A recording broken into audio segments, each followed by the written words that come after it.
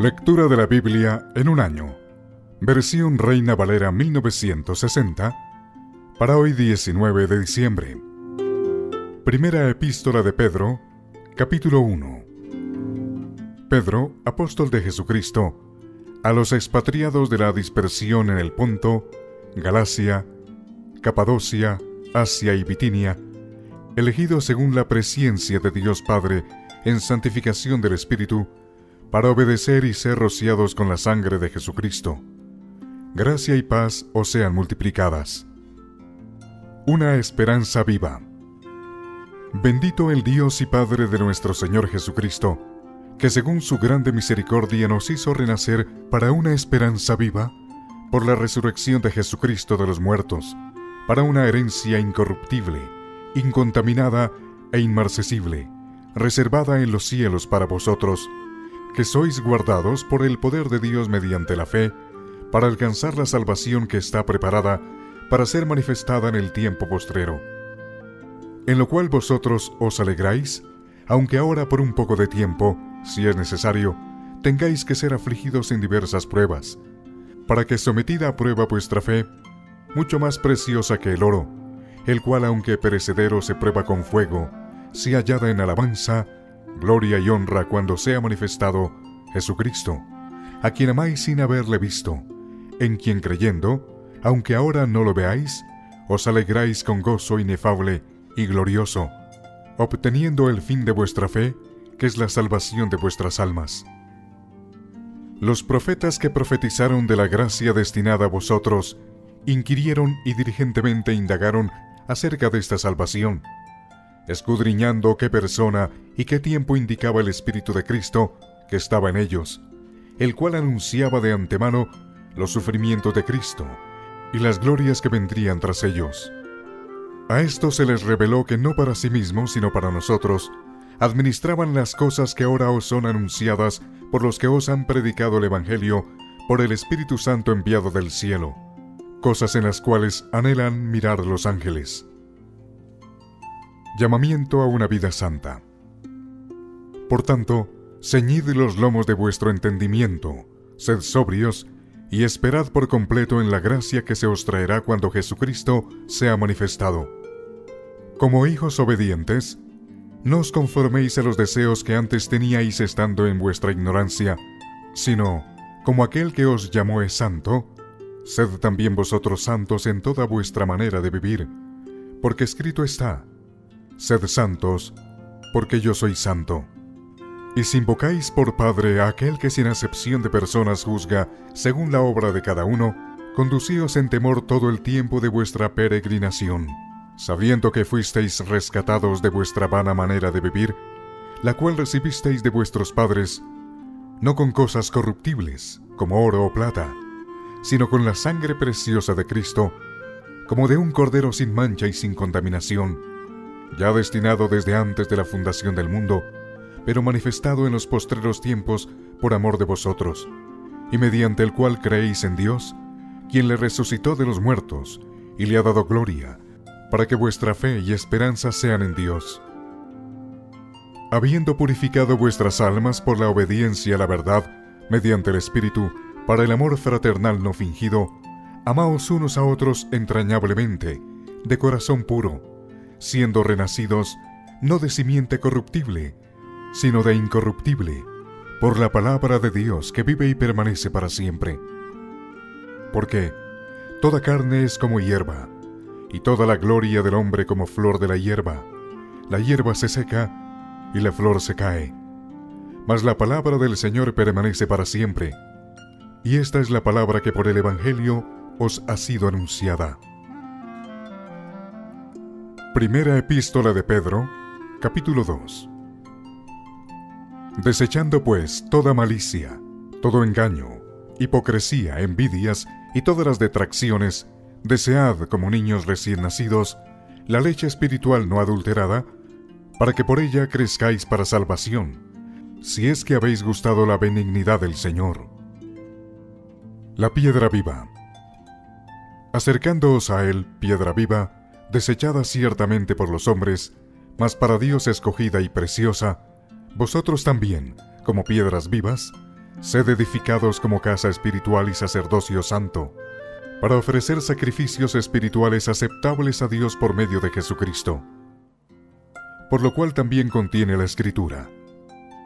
He aquí, pongo en Sión la principal piedra del ángulo, escogida, preciosa, y el que creyere en él no será avergonzado. Para vosotros, pues, los que creéis, él es precioso. Pero para los que no creen, la piedra que los edificadores desecharon ha venido a ser la cabeza del ángulo, y piedra de tropiezo, y roca que hace caer, porque tropiezan en la palabra, siendo desobedientes, a lo cual fueron también destinados. El pueblo de Dios. Mas vosotros sois linaje escogido, real sacerdocio, nación santa, pueblo adquirido por Dios, para que anunciéis las virtudes de aquel que os llamó de las tinieblas a su luz admirable. Vosotros que en otro tiempo no erais pueblo, pero que ahora sois pueblo de Dios, que en otro tiempo no habíais alcanzado misericordia, pero ahora habéis alcanzado misericordia. Vivid como siervos de Dios. Amados, yo ruego como extranjeros y peregrinos, que os abstengáis de los deseos carnales que batallan contra el alma, manteniendo buena vuestra manera de vivir entre los gentiles, para que en lo que murmuran de vosotros como de malhechores, glorifiquen a Dios en el día de la visitación al considerar vuestras buenas obras. Por causa del Señor, someteos a toda institución humana, ya sea al rey como a superior, ya los gobernadores, como por él enviados para castigo de los malhechores y alabanza de los que hacen bien porque esta es la voluntad de Dios, que haciendo bien, hagáis callar la ignorancia de los hombres insensatos, como libres, pero no como los que tienen la libertad como pretexto para hacer lo malo, sino como siervos de Dios. Honrad a todos, amad a los hermanos, temed a Dios, honrad al Rey. Criados, estad sujetos con todo respeto a vuestros amos, no solamente a los buenos y afables, sino también a los difíciles de soportar. Porque esto merece aprobación si alguno a causa de la conciencia delante de Dios sufre molestias padeciendo injustamente. Pues, ¿qué gloria es si pecando sois abofeteados y lo soportáis? Mas si haciendo lo bueno sufrís y lo soportáis, esto ciertamente es aprobado delante de Dios. Pues para esto fuisteis llamados porque también Cristo padeció por nosotros, dejándonos ejemplo, para que sigáis sus pisadas, el cual no hizo pecado, ni se halló engaño en su boca, quien cuando le maldecían no respondía con maldición. Cuando padecía, no amenazaba, sino encomendaba la causa al que juzga justamente. Quien llevó él mismo nuestros pecados en su cuerpo sobre el madero, para que nosotros, estando muertos a los pecados, vivamos a la justicia, y por cuya herida fuisteis sanados. Porque vosotros erais como ovejas descarriadas, pero ahora habéis vuelto al pastor y obispo de vuestras almas. Primera epístola de Pedro, capítulo 3. Deberes conyugales. Asimismo vosotras, mujeres, estad sujetas a vuestros maridos, para que también los que no creen a la palabra sean ganados sin palabra por la conducta de sus esposas, considerando vuestra conducta casta y respetuosa. Vuestro atavio no sea el externo de peinados ostentosos, de adornos de oro o de vestidos lujosos, sino el interno, el del corazón, en el incorruptible ornato de un espíritu afable y apacible, que es de grande estima delante de Dios. Porque así también se ataviaban en otro tiempo aquellas santas mujeres que esperaban en Dios estando sujeta a sus maridos. Como Sara obedecía a Abraham, llamándole Señor, de la cual vosotras habéis venido a ser hijas, si hacéis el bien sin temer ninguna amenaza. Vosotros maridos, igualmente, vivid con ella sabiamente, dando honor a la mujer como a vaso más frágil y como a coherederas de la gracia de la vida, para que vuestras oraciones no tengan estorbo una buena conciencia. Finalmente, sed todos de un mismo sentir, compasivos, amándoos fraternalmente, misericordiosos, amigables, no devolviendo mal por mal, ni maldición por maldición, sino por el contrario, bendiciendo, sabiendo que fuisteis llamados para que heredaseis bendición. Porque el que quiere amar la vida y ver días buenos, refrene su lengua de mal, y sus labios no hablen engaño. Apártese del mal y haga el bien. Busque la paz y sígala, porque los ojos del Señor están sobre los justos y sus oídos atentos a sus oraciones. Pero el rostro del Señor está contra aquellos que hacen el mal. ¿Y quién es aquel que os podrá hacer daño si vosotros seguís el bien? Mas también si alguna cosa padecéis por causa de la justicia, bienaventurados sois. Por tanto, no os amedrentéis por temor de ellos, ni os conturbéis, sino santificad a Dios el Señor en vuestros corazones, y estad siempre preparados para presentar defensa con mansedumbre y reverencia ante todo el que os demande razón de la esperanza que hay en vosotros, teniendo buena conciencia, para que en lo que murmuran de vosotros como de malhechores, sean avergonzados los que calumnian vuestra buena conducta en Cristo. Porque mejor es que padezcáis haciendo el bien, si la voluntad de Dios así lo quiere, que haciendo el mal. Porque también Cristo padeció una sola vez por los pecados, el justo por los injustos, para llevarnos a Dios, siendo la verdad muerto en la carne, pero vivificado en espíritu, en el cual también fue y predicó a los espíritus encarcelados, los que en otro tiempo desobedecieron, cuando una vez esperaba la paciencia de Dios en los días de Noé, mientras se preparaba el arca, en la cual pocas personas, es decir, ocho, fueron salvadas por agua. El bautismo que corresponde a esto ahora nos salva no quitando las inmundicias de la carne, sino como la aspiración de una buena conciencia hacia Dios, por la resurrección de Jesucristo, quien habiendo subido al cielo está a la diestra de Dios, y a él están sujetos ángeles, autoridades y potestades. Primera epístola de Pedro, capítulo 4. Buenos administradores de la gracia de Dios. Puesto que Cristo ha padecido por nosotros en la carne, vosotros también armaos del mismo pensamiento.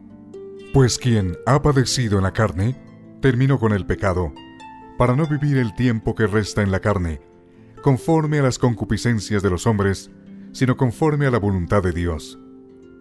Baste ya el tiempo pasado para haber hecho lo que agradaba a los gentiles, andando en lascivias, concupiscencias, embriagueces, orgías, disipación y abominables idolatrías a estos les parece cosa extraña que vosotros no corráis con ellos en el mismo desenfreno de disolución, y os ultrajan. Pero ellos darán cuenta al que está preparado para juzgar a los vivos y a los muertos. Porque por esto también ha sido predicado el Evangelio a los muertos, para que sean juzgados en carne según los hombres, pero vivan en espíritu según Dios. Mas el fin de todas las cosas se acerca. Sed pues sobrios y velad en oración. Y ante todo, tened entre vosotros ferviente amor, porque el amor cubrirá multitud de pecados. Hospedaos los unos a los otros sin murmuraciones. Cada uno según el don que ha recibido, ministrelo a los otros, como buenos administradores de la multiforme gracia de Dios. Si alguno habla, hable conforme a las palabras de Dios.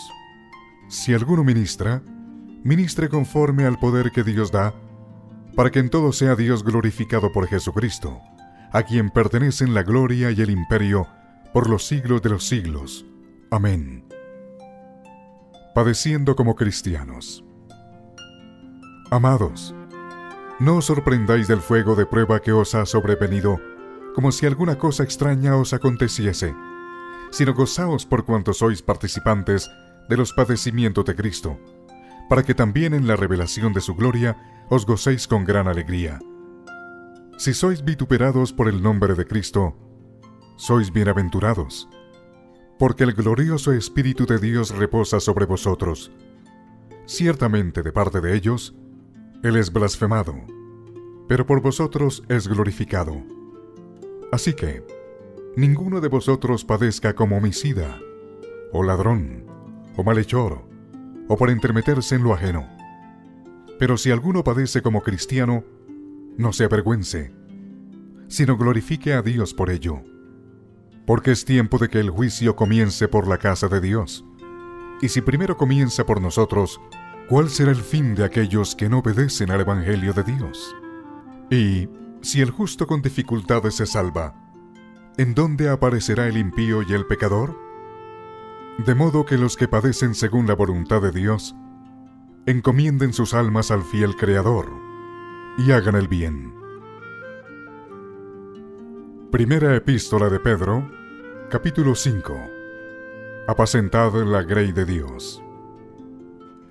Ruego a los ancianos que están entre vosotros, yo anciano también con ellos, y testigo de los padecimientos de Cristo, que soy también participante de la gloria que será revelada. Apacentad la grey de Dios que está entre vosotros, cuidando de ella, no por fuerza, sino voluntariamente, no por ganancia deshonesta, sino con ánimo pronto, no como teniendo señorío sobre los que están a vuestro cuidado, sino siendo ejemplos de la grey. Y cuando aparezca el príncipe de los pastores, vosotros recibiréis la corona incorruptible de gloria. Igualmente, jóvenes, estad sujetos a los ancianos, y todos, sumisos unos a otros, revestidos de humildad, porque Dios resiste a los soberbios y da gracia a los humildes. Humillaos, pues, bajo la poderosa mano de Dios, para que Él os exalte cuando fuere tiempo, echando toda vuestra ansiedad sobre Él, porque Él tiene cuidado de vosotros. Sed sobrios y velad, porque vuestro adversario el diablo, como león rugiente, anda alrededor buscando a quien devorar, al cual resistid firmes en la fe, sabiendo que los mismos padecimientos se van cumpliendo en vuestros hermanos en todo el mundo. Mas el Dios de toda gracia, que nos llamó a su gloria eterna en Jesucristo, después que hayáis padecido un poco de tiempo, Él mismo os perfeccione, afirme, fortalezca y establezca. A Él sea la gloria y el imperio por los siglos de los siglos. Amén. Salutaciones finales. Por conducto de Silvano, a quien tengo por hermano fiel, os he escrito brevemente amonestándoos y testificando que esta es la verdadera gracia de Dios en la cual estáis. La iglesia que está en Babilonia, elegida juntamente con vosotros, y Marcos mi hijo, os saludan. Saludaos unos a otros con ósculo de amor. Pasea con todos vosotros los que estáis en Jesucristo. Amén.